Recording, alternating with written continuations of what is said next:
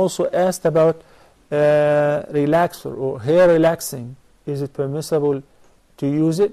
And this question is frequent. We just have another question via email from one sister says that I'm an, an African lady, my hair is curly and it's hard. Can I use hair relaxing?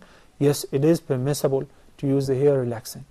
What's restricted is to follow the non-Muslim fashions, the weird fashions which you see in the magazines or in the shows.